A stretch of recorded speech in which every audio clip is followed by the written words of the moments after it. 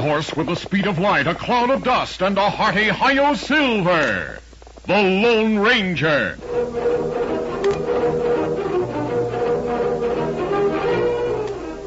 Before this exciting adventure, a word from our sponsor. General Mills, makers of Cheerios, the oat cereal that's ready to eat, Betty Crocker mixes, and Wheaties, the breakfast of champions, present by special recording, The Lone Ranger. Did you ever talk to your grandmother or your mother about what it used to be like to bake an angel food cake? Before there was a Betty Crocker angel food cake mix, that is. Well, they used to have to take 13 eggs and separate the whites from the yolks. Can you imagine all that bother? Over a dozen eggs. Angel food cakes took hours then, and I guess that's why they only baked them for very, very special occasions. But now, you can have big, delicious angel food cakes all the time. Mmm. It's so easy when Mom uses Betty Crocker Angel Food Cake Mix. That's the mix with the whites of 13 farm fresh eggs right in the package. Mom just adds water and your favorite flavoring for a perfect cake. Angel perfect every time. Cake after cake after cake. A high, light, every day is party day kind of cake. And it's guaranteed perfect by Betty Crocker of General Mills, Minneapolis. I hope Mom bakes lots of Betty Crocker angel food cakes at your house. They're so melt in your mouth good. His faithful Indian companion Tonto, the daring and resourceful masked rider of the plains led the fight for law and order in the early western United States. Nowhere in the pages of history can one find a greater champion of justice. Return with us now to those thrilling days of yesteryear. From out of the past come the thundering hoofbeats of the great horse Silver. The Lone Ranger rides again. Come on, Silver. Let's go, big fellow. I'm Silver. Away!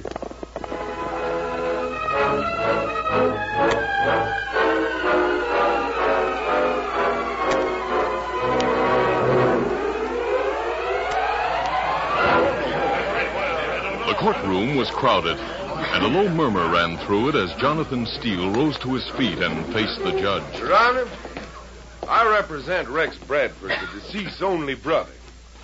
Now, it's our contention that the terms of this will prove that the late Robert Bradford was of unsound mind when he made it. We ask that the court declare the will invalid and that the estate be awarded to my client as Robert Bradford's only legal heir. The court intends to investigate the validity of the will. Are the witnesses present? Yes. Here They are. Arthur Judson. Here, Your Honor. You swear to tell the truth, the whole truth, and nothing but the truth, so help you God? I do. You knew the late Robert Bradford? Yes, sir. We were friends and neighbors for nearly ten years. I own the spread just below his on Crystal Creek. Do you remember witnessing his will? I do. When I got to his ranch that day, he was sitting at the window looking out at the creek. He had the will folded up in his left hand. He told me to sit down. Worried about what Rex will do if he gets his hands on this ranch. I guess there's no doubt about what he'll do. He's talked about it enough. He'll dam Crystal Creek and make us pay so much for water rights that we'll have to sell out to him. Yes. Even if he is my brother, I must admit that he's greedy and unscrupulous. I'd like to be sure that he doesn't get the ranch. But you've got nobody else to leave it to, have you? Yes, I have. And I've made a will. Judd, I'm leaving my ranch to the Lone Ranger. Judson, you're not. Had Robert Bradford ever seen the Lone Ranger? Oh, why, no. Not that I know of. Have you ever seen the Lone Ranger? No. No. No, of course you haven't. Neither you nor anyone else. And why? Because there is no such person. Does counsel intend to prove that the Lone Ranger doesn't exist? No one has ever seen him. Senor! Senor! Order! Order in the court! Oh, senor, your honor, it is not true what the senor has said. Pancho has seen the Lone Ranger. Are you Pancho? Si. Pancho Gonzalez. We'll listen to your testimony. Swear him in. You swear to tell the truth, the whole truth, and nothing but the truth, so help you God? See. Take the chair. Well, Now, where was it that you saw the Lone Ranger? it was long way from here. I worked for Senor Colfax then near San Antonio.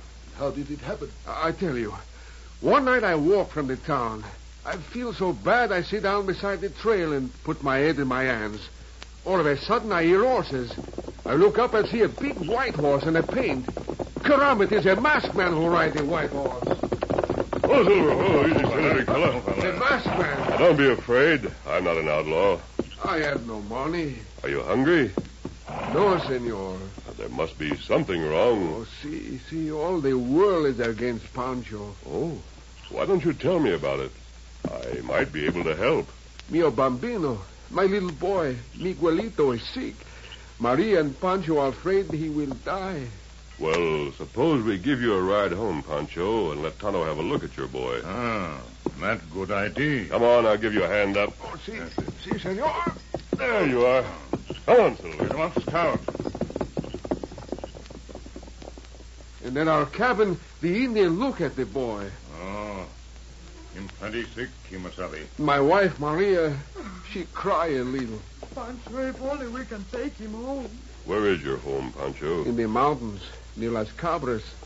It is across the river in Mexico. It's good for boy to go to mountain, Kimasabi. Well, why don't you take him there, Pancho? Oh, it is impossible. He and one little prayer at the shrine of the Madonna. And I know Miguel will be better.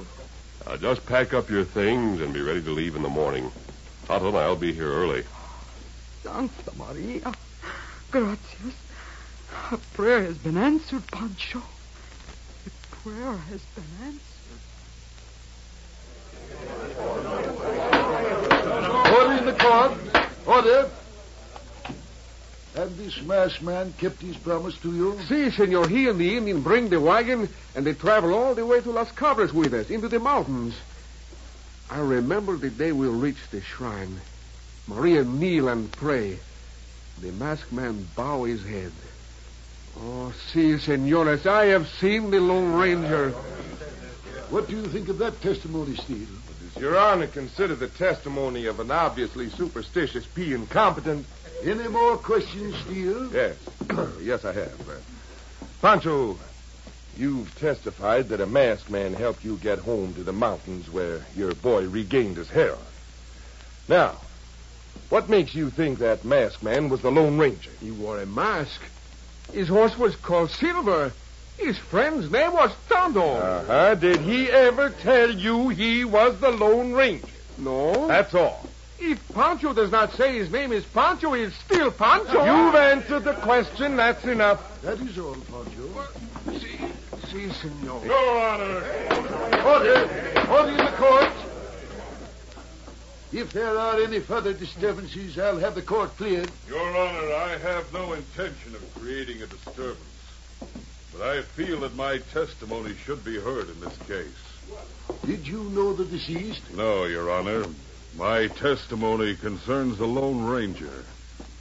And I'll let you decide for yourself whether I'm either simple, uneducated, or crazy. I don't see why we shouldn't hear what you have to say.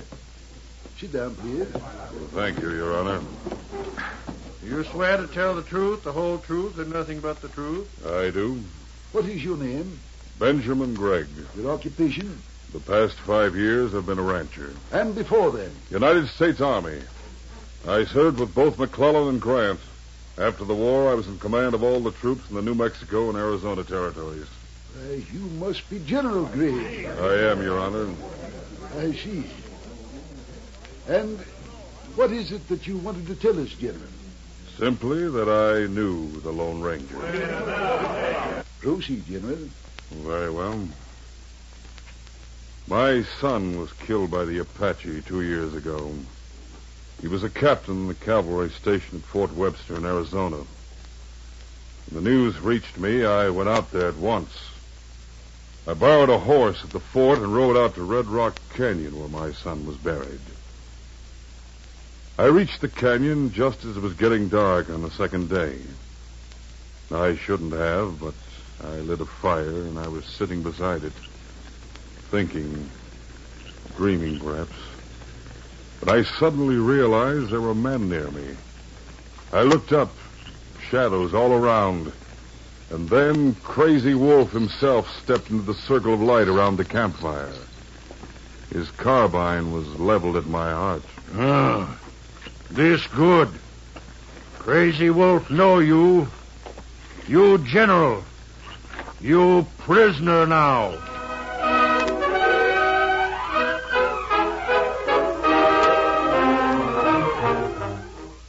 We'll continue our Lone Ranger adventure in just a moment. Diving Doris is 13, and she is a diving queen. She can do a flip because she knows she's got go power from Cheerios. Yes, she's got go power. There she goes. She's feeling her Cheerios. Cheer- Cheerios. That's a mighty good idea for you. Just make sure you eat a big bowl of Cheerios and milk every breakfast and you'll get Go Power too.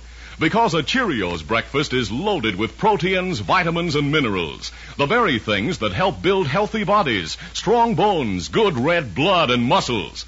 Why, they'd be the sort of breakfast you'd go for even if they didn't taste so good. And they do taste delicious. Cheerios are a real oat cereal, already cooked with that delicious toasted oat flavor. So that's for you. Swell tasting Cheerios and milk for Go Power. Eat 'em every morning and you'll hear.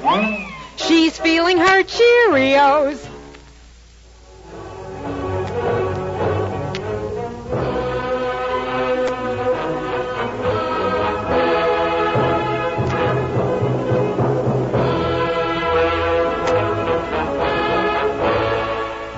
Now to continue. The courtroom was silent, tense, and expectant as General Gregg described his capture by the renegade Apache Crazy Wolf. I expected to be killed on the spot, but Crazy Wolf had other plans for me.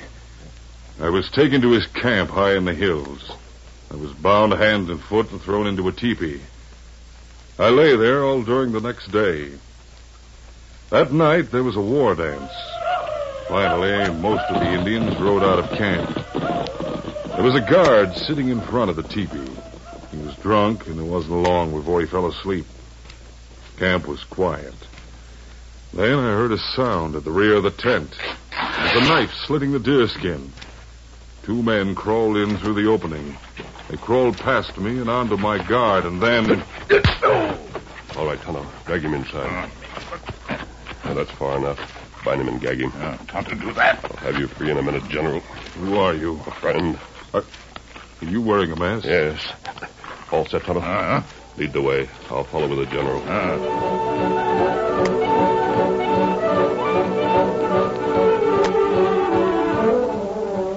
We crawled through the opening in the rear of the teepee and then ran to the cover of the woods. The camp was high in the hills, but instead of starting down, we began to climb.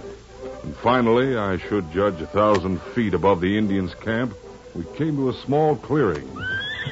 There were three horses there white stallion, a paint, and my own horse, the one Colonel Lacey had given me at the fort. Why, that chestnut's mine. Yes, General. Tonto brought him up here while the war dance was going on. Well, I'm not sure that I can find my way back to the fort, but with a few directions. We'll I- show you the way when the right time comes. But not tonight, General. There's too much chance of running into Crazy Wolf and his raiding party. Now we'll wait here until tomorrow night.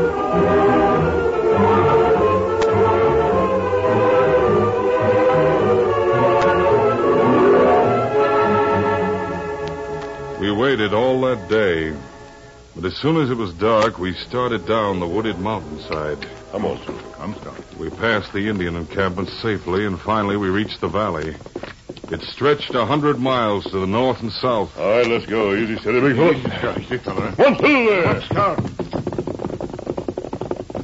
It was 20 miles across the valley to the eastern hills, and only an occasional sandstone butte broke the level surface of the basin. Fort was beyond the hills. There was a full moon, but we saw no Indians, not until we had nearly reached the far side of the valley. Then we saw them heading straight for us out of a wooded draw.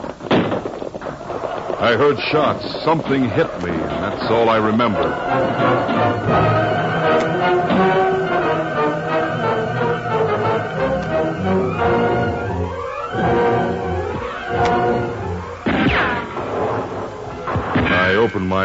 I was lying close to what seemed to be a wall of rock. The masked man was only a few feet away, firing at something or someone below him.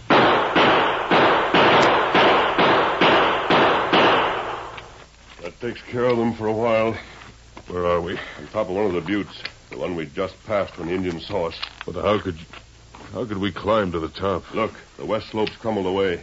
I carried you up here while Tonto held them off. Good as a fort. What about Tonto? I opened fire as soon as I got up here. He got away with the horses. He'll bring us help from the fort. That's a long way. Yes.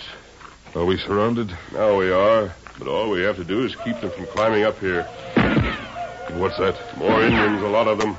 I think they've brought Crazy Wolf. I must have been unconscious for a long time. Early morning. How about ammunition? Enough for this charge.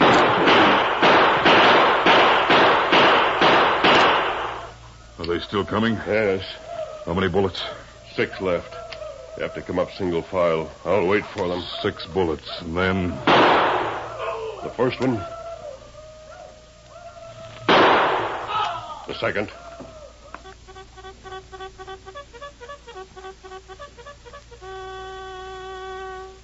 Did I really hear that? The bugle. Yes, you did. Can you see anything? No, I. Yes, General. The cavalry. There's Tonto riding at the head of the column. Looks like a whole troop. Heaven be praised.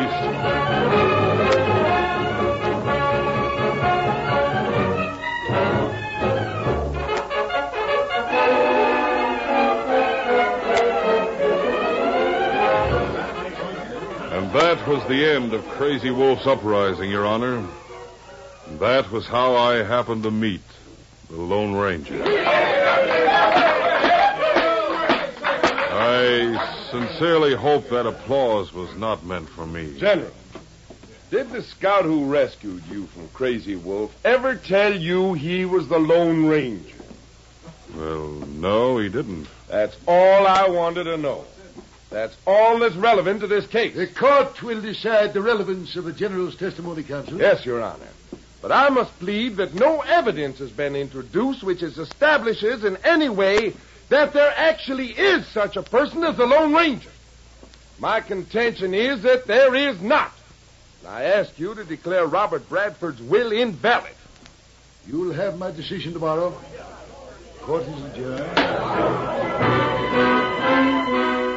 The judge had his supper at the hotel that night and then walked through the quiet back streets of the town to the little white cottage where he lived alone. When he reached it, he settled himself behind his desk and studied Robert Bradford's will. He studied it for a long time. Then his head nodded. He leaned back in his chair, and in another moment he was asleep. As he slept, he dreamed. He was with Pancho crossing the Rio Grande and riding on toward the mountains of Las Cabras.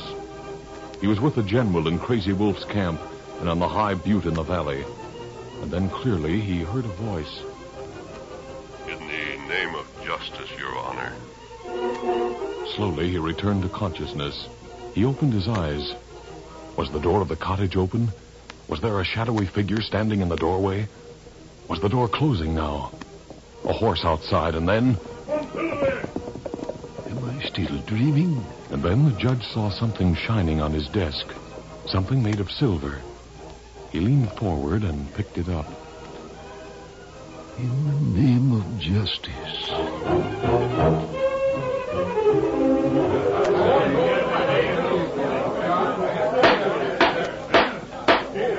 On the following morning, the judge rapped for order in the courtroom. Court has reached a decision in the case of Robert Bradford's will. Counsel for Rex Bradford has argued that because there is no such person as the Lone Ranger, the deceased has given evidence of being of unsound mind at the time the will was executed. In the opinion of this court, the contention has not been proved. Is the court ruling that the Lone Ranger does exist? The court is ruling that the Lone Ranger may exist. that the deceased was of a sound mind and that the will is valid. In that case, will the court set a time limit during which the Lone Ranger must claim his inheritance? If there is such a person, do you honestly expect him to walk into a court of law and identify himself? I haven't finished, counsel. The phraseology of the will is not exact. So it is also the duty of this court to interpret it. The intention of the deceased becomes important. From a careful study of the document, the court has decided that the will merely sets up a trusteeship. That the Lone Ranger has been appointed to administer the estate for the public good. If the Lone Ranger is not available, then it is also in the power of this court to appoint another executor. General Gregg, will you accept the appointment? Yes, Your Honor. File the will. Oh, General, I'd like to see you in my chambers, please. Very well, Your Honor.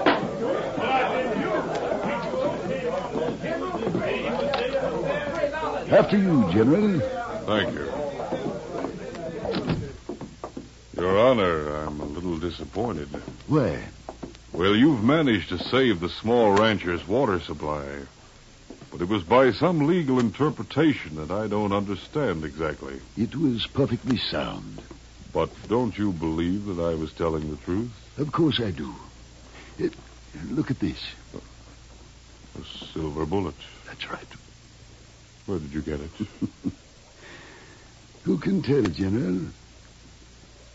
Perhaps I, too, have had the honor of meeting the Lone Ranger.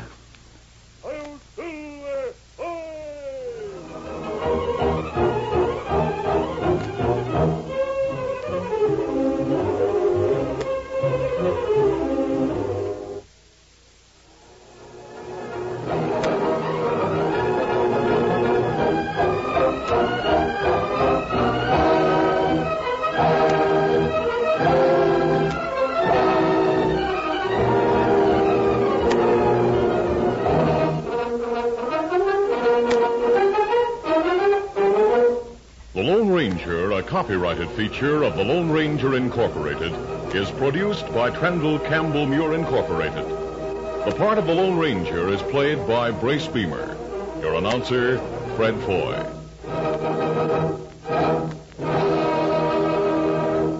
Listen to The Lone Ranger, brought to you by special recording Mondays through Fridays at this same time.